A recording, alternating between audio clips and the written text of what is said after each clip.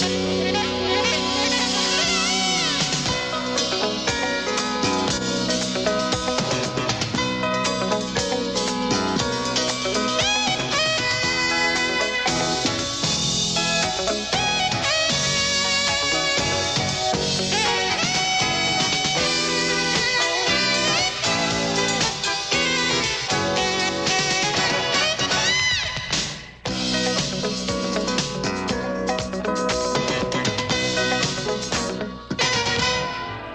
some marshmallow rice squares? Those are swell.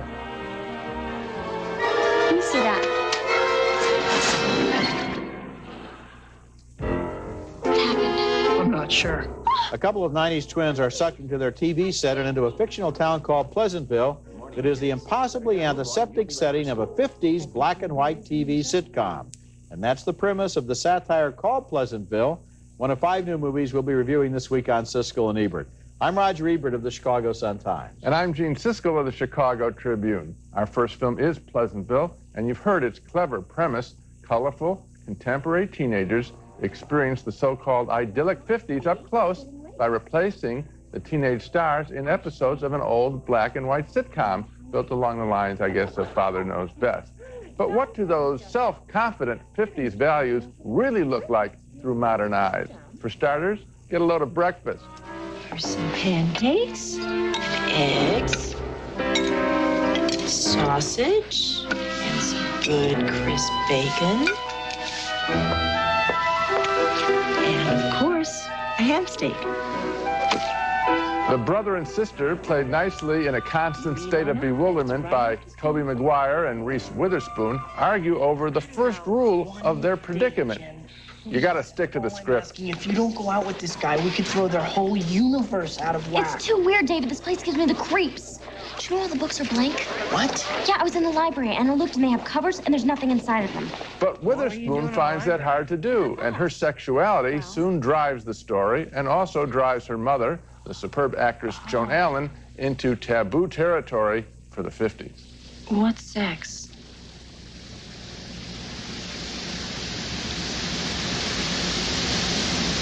Sure you want to know this? Yes. The point is, when characters discover extreme passion in Pleasantville, any kind of passion, from sexual excitement to anger, they turn into technicolor versions of themselves, which accounts for Joan Allen's covering up that telltale sign as the film takes a serious turn and reminds us of the racism flourishing in the 50s. It's beautiful. It's beautiful.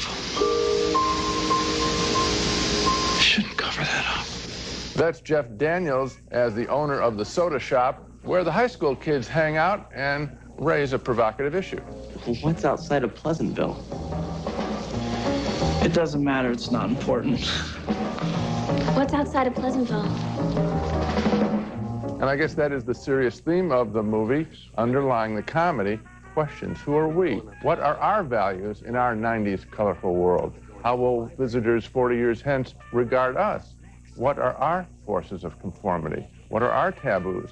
Those are the heady issues generated by a thoroughly entertaining and inventive movie. Credit writer, director, producer Gary Ross for creating Pleasantville, and he fulfills the promise of two other very good films he wrote. Get this Big with Tom Hanks and the White House comic fantasy Dave with Kevin Kline. That's a nice track record.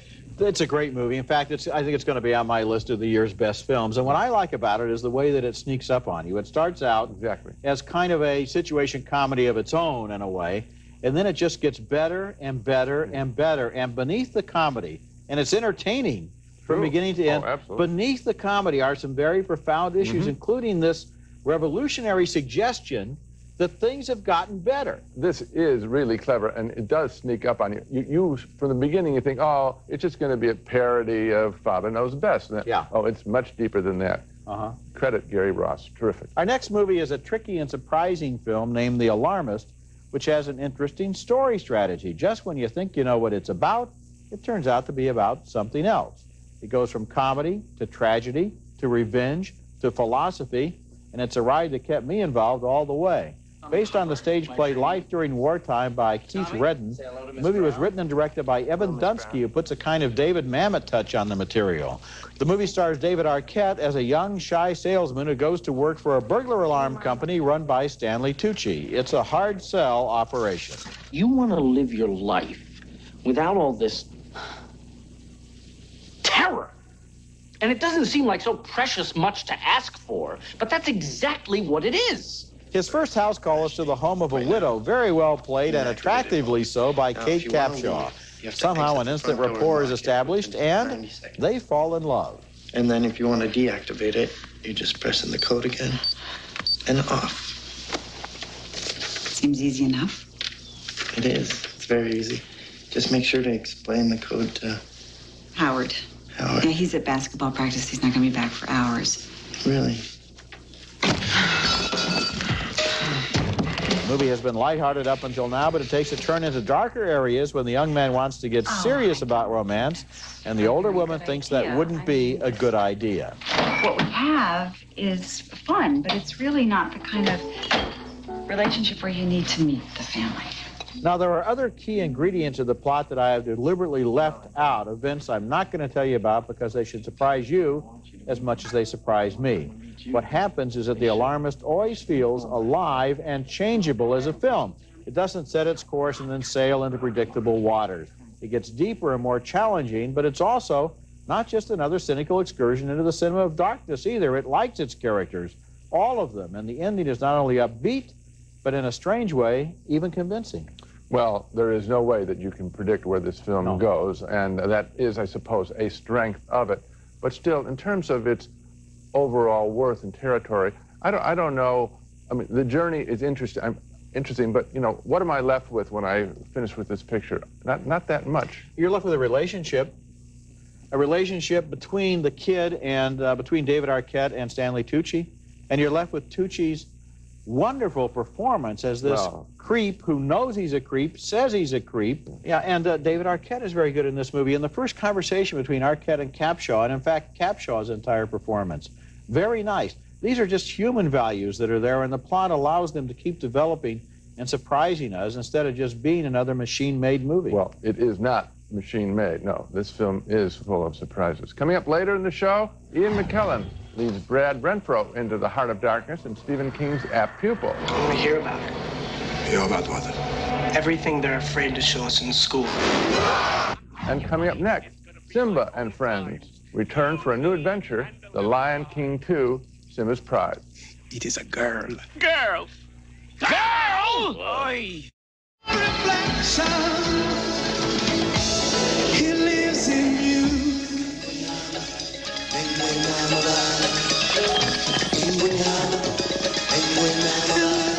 Well, look who has grown up after four circles of life have passed. Yes, it's Simba, now the proud father of a baby lioness in The Lion King 2, Simba's Pride, a satisfactory continuation of the adventures of memorable animals introduced in one of the most popular films of all time.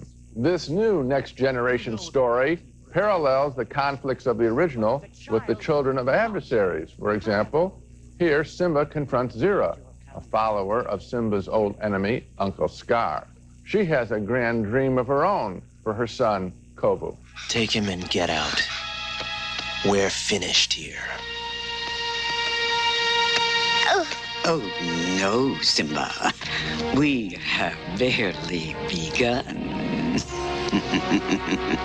But wouldn't you know it, a father's nightmare. Of all the lions in the forest, his princess likes his adversary's son. Their childhood friendship carries into adulthood. Oh, look. There's one that looks like a baby rabbit. See the fluffy tail? Yeah. Hey, there's one that looks like two lions killing each other for a scrap of meat. I've never done this before. I like the variety of animals, the familiar drawing style, but what I found wanting in The Lion King 2 was original songs, even remotely equal to any from the first movie.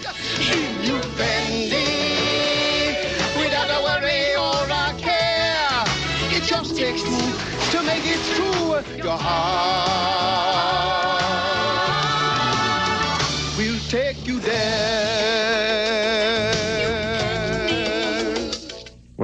That's no Hakuna Matata.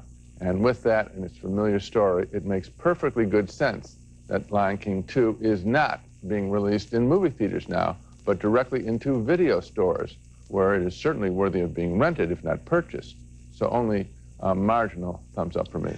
Marginal for me too, and I think you used the right word uh, in your intro to this review when you said it was satisfactory. Yeah. It's more or less what you are hoping for or expecting as a made-for-video sequel to The Lion King. It's not a at the level of the theatrical releases that Disney does, but on the other hand, if you're interested in what happened to the characters, you want to see kind of a Romeo and Juliet uh, scenario played out in the Serengeti, then it, it's fun on that level. But uh, you know what I'm talking about with the songs? Yeah. You couldn't. Hum, I couldn't hum one from the picture. Nope. And as we know, people are still humming Makuna, Takuna, Makata, Hakuna Makuta, Matata. Hakuna Makata. Yeah. They're probably. Well, Yeah. I don't know if they're humming. A name on every list. I think yeah. actually, if they know the song, they remember the lyric. Okay. When we come back, a high school student discovers a Nazi war criminal in Stephen King's apt pupil. What'd you do during the war? Bergen-Belsen, January 43 to June 43. Auschwitz, June 43 to June 44. Then you went to Patin. After that, you disappeared. That's Brad Renfro in the new movie Apt Pupil telling a local man played by Ian McKellen that he knows he was a Nazi war criminal. And he's right, too. But he doesn't want to expose the man. No, he wants to listen to his stories about what went on in the death camps. You were there. You did those things. No one can tell it better than you can. As their relationship develops, the young man does indeed turn into an apt pupil, absorbing some of the old man's autocratic style. Here, he brings him a curious present. Well, try it on. You completely lost your mind. What on earth makes you think I'd put something like that on? Well, I thought you would like it. Like it? You are a bigger fool than I thought. Maybe I'll put it on to a little shopping. Is that what you thought? The indignities I've suffered with you, I should smash you. What you've suffered with me is nothing compared to what the Israelis would do to you. Their encounters reawaken old impulses in the Nazi veteran who, in one unpleasant scene, attempts to stuff a neighbor's cat into his oven and who threatens the boy that more than one can play the same blackmailing game. Your American self-confidence is so bloated you've forgotten the reality of the situation. 90,000 died in Patin. To the whole world, I am a monster. And you have known about me all this time. Apt Pupil is based on a book by Stephen King and is the first film to be directed by Bryan Singer since his widely acclaimed 1995 film, The Usual Suspects. As I watched Apt Pupil, I felt uneasy. The performances by McKellen and Renfro are very effective, and Singer has made a film that certainly keeps your attention, but does the tragedy of the Holocaust really belong in a movie that also includes comic relief about the school counselor, one of those standard horror scenes where a guy seems to be dead and then he pops up again? It's not the central story material I'm objecting to because I can imagine a good film on this kind of situation, but the way it's trivialized with standard horror cliches, I think the material deserves a more respectful treatment. The only way in which the material is respected is to show the intoxication of power and evil uh, as the apt pupil becomes apt. And that, I think, is where the film is worthy of what it's trying to do. I feel like I have seen the McKellen character, the conclusion of uh, his story. I've seen. I just feel like I've seen that before. We did. We saw that movie where the guy is in his backyard and eats the poisoned apple. Remember, after they find out that he's a, Okay, okay. a former Nazi. This is not a new idea. All right. But again, it is called the apt pupil. So to be fair to the picture, I think its goal is to not focus on McKellen, but to focus on the boy. And on that level, I think it does Well, work. you know, I'm not giving it thumbs up, but I'm not just condemning it. I just think that it made me feel uneasy because it treats some of the material in a very trivializing fashion. Okay. Next movie, and it too uses the Holocaust for part of its story. It's the prize winning Italian film Life is Beautiful, co written, directed, and starring, strangely enough, the Italian comic actor Roberto Benigni, who tells the tragic story of two lovers whose lives are suddenly rocked by their deportation by Italian fascists to the Nazi death camps along with their beloved son. At first, the tone of this film is charming and romantic. Benigni plays a waiter in a small Italian town in 1939 who can't believe his good fortune when he falls in love. At this point, his life truly is beautiful.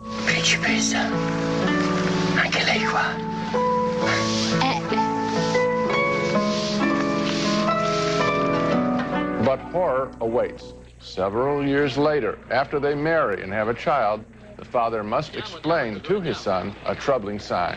Perché i cani e gli ebrei non possono entrare, babbo? E allora gli ebrei cani non ce li vogliono, eh? ognuno fa quello che gli pare, Giosuè. Là c'è un negozio, là c'è un ferramenta, no? Loro per esempio non fanno entrare gli spagnoli e i cavalli. Eh, e cosa? Là c'è un farmacista, no? Ieri ero con un mio amico, un cinese che ha un canguro.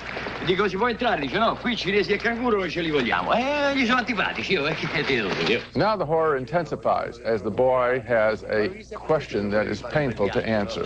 Benigni tries to shield his son from the terrors that lie ahead.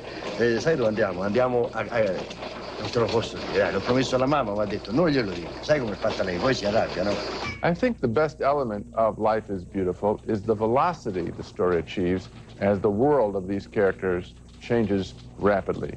And that Benigni, a figure regarded so affectionately in Italy, chose to tackle this material, a painful and humiliating reminder of Italy's role in the Holocaust, has caused a stir. The film's title must be regarded, of course, quizzically by the time the movie is over. The bottom line is, I think it accomplishes its goal. I think it's a very wonderful movie, a very moving film. And Yeah. what I like about it is, the, first of all, the two act structure. Things are fine Right. until the war starts and the horror starts. And then this man uses the only gift he has, because we've seen very clearly in the first hour that all he is is a clown. And he uses his humor and his imagination in order to try to shield his son and to save his son's life. And that to me is so moving. Now, obviously, it's a parable. It's not supposed to be a realistic de- depiction of the camps, I don't believe. It's more of a parable of a man using whatever gift he has in order to shield his son. And I think it's a great film. And again, to know if, if audiences don't know who Benigni is in Italy, it was stunning for him to tackle this material. Benigni in Italy is like over here a Jerry Lewis or Steve Yeah. Martin, any one of the big comedians. Now, here is a case which obviously you believe that comic material That's what does I'm- justify. I'm not saying that you can't deal with the Holocaust in any genre that you want, but you have to earn the right to do it by the way you treat it. And this film, I think, does so. It won the jury prize at Cannes. It won the People's Award at the Toronto Festival. People are obviously embracing Life is Beautiful. When we come back, our video pick of the week, Steve Martin in a fascinating con game that people are still trying to figure out. Why are so many people having such difficulty? That's the question baffles me.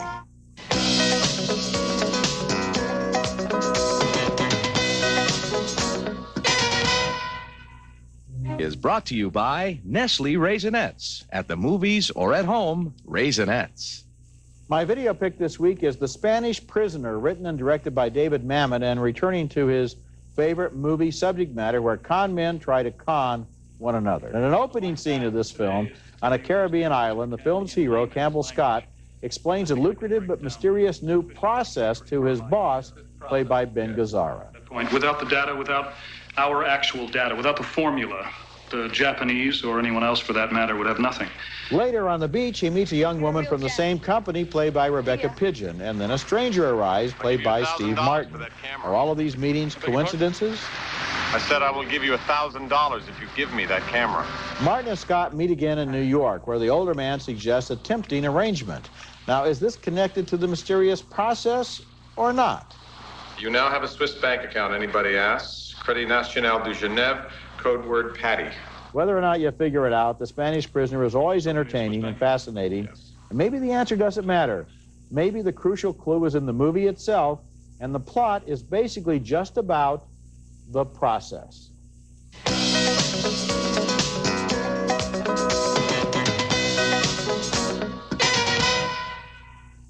A look at the movies we reviewed on this week's show. Two big thumbs up for Pleasantville, but a split vote on The Alarmist, starring David Arquette and Stanley Tucci as enterprising salesmen. Roger liked the film's string of surprises. I didn't think it added up to much. Two thumbs up for the direct-to-video sequel, The Lion King 2, Simba's Pride. two thumbs down on Apt Pupil, starring Ian McKellen and Brad Renfro, exploring the appeal of the ultimate evil. And finally, two thumbs up for Roberto Benigni's moving story of love and loss, Life is Beautiful. So the big film on this show is Pleasantville. It's on my list of the year's best. Remember, you can hear our reviews on the web at siskel-ebert.com. Next week, we'll be back with reviews of more new movies, including the offbeat love story Living Out Loud, starring Danny DeVito and Holly Hunter, and also John Carpenter's Vampire, starring James Woods and Daniel Baldwin. That's next week, and until then, the balcony is closed. Blasto Butter microwave popcorn is so rich, so buttery tasting, so good, you'll have to share. Blasto Butter from Jolly Time. There's one way to guarantee whiter teeth. Rapid White by Natural White whitens teeth. Safe, effective. Rapid White by Natural White, we guarantee whiter teeth. Shaking up healthy cooking with Mrs. Dash. We're cooking chicken breasts with Mrs. Dash. It's 100% natural herbs and spices. No salt. Just the good stuff. Call for more recipes. Have fun all year long with this year's newest family game. Spin the calendar and land on your lucky day. Make a date with Game of the Year from University Games.